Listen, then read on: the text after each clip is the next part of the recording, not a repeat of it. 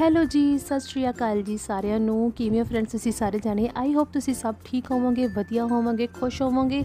ਤੇ ਅੱਜ ਫਰੈਂਡਸ ਮੈਂ ਲੈ ਕੇ ਆਈ ਹਾਂ ਜੀ ਤੁਹਾਡੇ ਲਈ ਸ਼ੱਕਰਗੰਦੀ ਦੀ ਚਾਟ ਦੀ ਰੈਸਪੀ ਜਿਵੇਂ ਅਸੀਂ ਰੇੜੀ ਤੋਂ ਖਾਂਦੇ ਆ ਬਾਜ਼ਾਰ ਤੋਂ ਸੇਮ ਉਦਾਂ ਦਾ ਟੇਸਟ ਜਿਹੜਾ ਇਸ ਚਾਟ ਦੇ ਵਿੱਚੋਂ ਆਊਗਾ ਤੇ ਬਹੁਤ ਹੀ ਜਲਦੀ ਬਣ ਜਾਂਦੀ ਆ। ਤੇ ਚਲੋ ਫਰੈਂਡਸ ਸ਼ੁਰੂ ਕਰਦੇ ਹਾਂ ਜੀ ਸ਼ੱਕਰਗੰਦੀ ਦੀ ਚਾਟ ਦੀ ਰੈਸਪੀ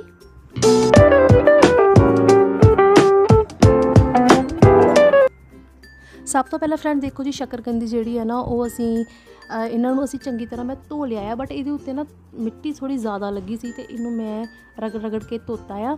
ਤੇ ਹੁਣ ਫਰੈਂਡਸ ਇਹਨੂੰ ਮੈਂ ਪਾ ਦਿੱਤਾ ਹੈ ਜੀ ਕੁੱਕਰ ਦੇ ਵਿੱਚ ਤੇ ਪਾਣੀ ਪਾ ਦਿੱਤਾ ਅਸੀਂ ਥੋੜਾ ਜਿਹਾ ਤੇ ਇੱਕ ਵਿਸਲ ਅਸੀਂ ਇਹਦੀ ਲਵਾ ਲਾਂਗੇ।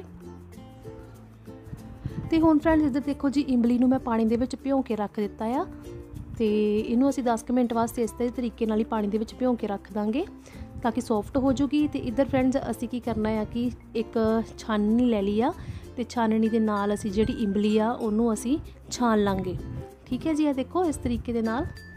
ਹੁਣ ਚਮਚ ਦੇ ਨਾਲ ਤੁਸੀਂ ਇਹਨੂੰ ਦਬਾ ਦਬਾ ਕੇ ਇਮਲੀ ਦਾ ਜਿਹੜਾ ਸਾਰਾ ਪਲਪ ਆ ਉਹਨੂੰ ਤੁਸੀਂ ਕੱਢ ਲੈਣਾ ਆ। ਤੇ ਦੇਖੋ ਜੀ, ਇਸ ਤਰੀਕੇ ਦੇ ਨਾਲ।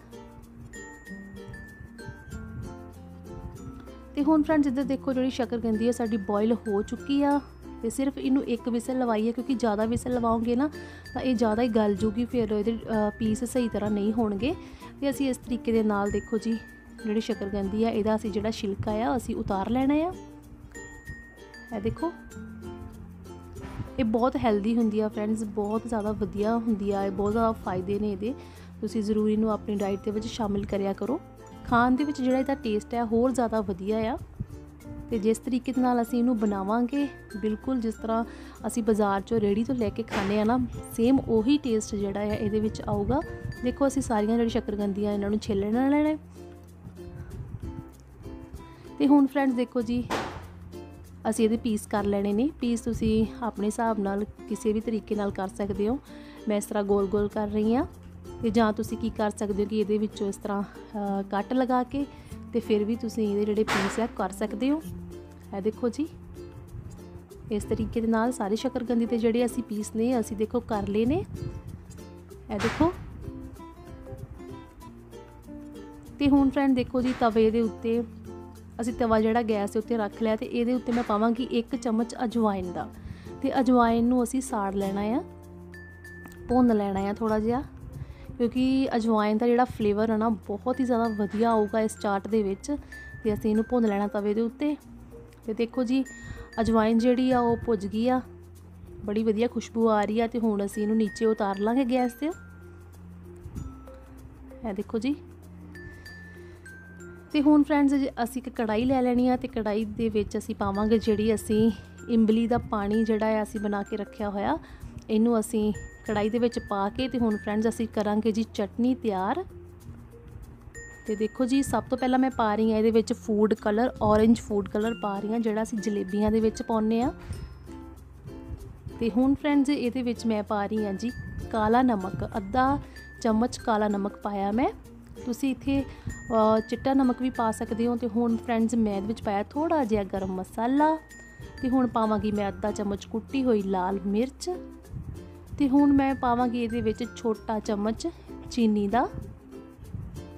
ਤੇ ਚੰਗੀ ਤਰ੍ਹਾਂ ਅਸੀਂ ਇਹਨੂੰ ਮਿਕਸ ਕਰਕੇ 3 ਤੋਂ 4 ਮਿੰਟ ਵਾਸਤੇ ਅਸੀਂ ਇਹਨੂੰ ਰਿੰਨ ਲੈਣਾ ਹੈ ਚੰਗੀ ਤਰ੍ਹਾਂ, ਤਾਂ ਕਿ ਜਿਹੜੇ ਅਸੀਂ ਥੋੜੇ ਬਹੁਤੇ ਮਸਾਲੇ ਪਾਏ ਨੇ, ਇਹਨਾਂ ਦਾ ਜਿਹੜਾ ਫਲੇਵਰ ਹੈ, ਉਹ ਚੰਗੀ ਤਰ੍ਹਾਂ ਜਿਹੜਾ ਇਹਦੇ ਵਿੱਚ ਆ ਜੇ ਚਟਨੀ ਦੇ ਵਿੱਚ। ਤੇ ਹੁਣ ਫਰੈਂਡਸ ਜਿਹੜੀ ਅਸੀਂ ਅਜਵਾਇਨ ਆ, ਉਹਨੂੰ ਵੀ ਅਸੀਂ ਪਾ ਦੇਣਾ ਹੈ ਵਿੱਚ। ਤੇ ਰਿੰਨ ਲਾਂਗੇ।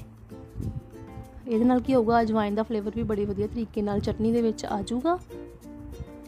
2 ਤੋਂ 3 ਮਿੰਟ ਵਾਸਤੇ ਅਸੀਂ ਇਹਨੂੰ ਰਿੰਨਣਾ ਆ।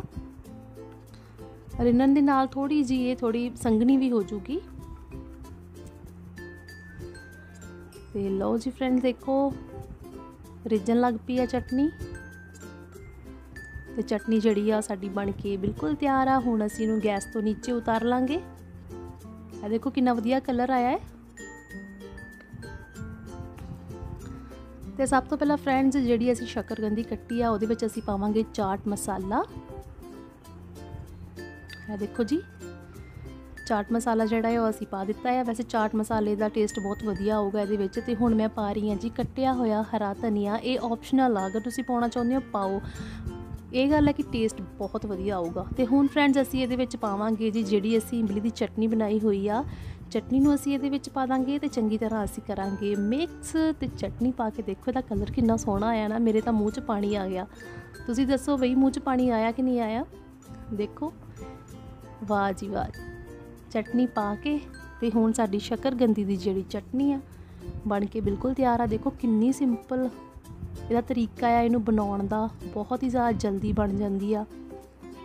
ਤੇ ਖਾਣ ਦੇ ਵਿੱਚ ਜਿਹੜਾ ਇਹਦਾ ਟੇਸਟ ਹੈ ਬਹੁਤ ਹੀ ਜ਼ਿਆਦਾ ਜ਼ਬਰਦਸਤ ਆ ਤੇ ਹੁਣ ਅਸੀਂ ਇਹਨੂੰ ਸਰਵ ਕਰਨੇ ਆ ਜੀ ਇੱਕ ਬਾਉਲ ਦੇ ਵਿੱਚ। ਇਹ ਦੇਖੋ ਜੀ, ਆਇਆ ਕਿ ਨਹੀਂ ਮੂੰਹ ਦੇ ਵਿੱਚ ਪਾਣੀ? ਦੱਸਿਓ ਮੈਨੂੰ। ਬਹੁਤ ਹੀ ਜ਼ਿਆਦਾ ਵਧੀਆ ਬਣੀ ਆ ਬਹੁਤ ਹੀ ਜ਼ਿਆਦਾ ਟੇਸਟੀ ਬਣੀ ਆ ਤੁਸੀਂ ਜ਼ਰੂਰ ਜ਼ਰੂਰ ਜ਼ਰੂਰ ਟਰਾਈ ਕਰਿਓ। ਤੁਹਾਨੂੰ ਬਹੁਤ ਜ਼ਿਆਦਾ ਪਸੰਦ ਆਊਗੀ ਇਹ ਰੈਸਪੀ ਅਗਰ ਤੁਸੀਂ ਮੇਰੇ ਚੈਨਲ ਤੇ ਨਵੇਂ ਆਏ ਹੋ ਚੈਨਲ ਨੂੰ ਸਬਸਕ੍ਰਾਈਬ ਕਰਿਓ ਤੇ ਬੈਲ ਆਈਕਨ ਨੂੰ ਜ਼ਰੂਰ ਪ੍ਰੈਸ ਕਰਿਓ ਤੇ ਵੀਡੀਓ ਨੂੰ ਲਾਈਕ ਸ਼ੇਅਰ ਜ਼ਰੂਰ ਕਰਿਓ ਤੇ ਕਮੈਂਟ ਕਰਿਓ ਜੀ। Thank you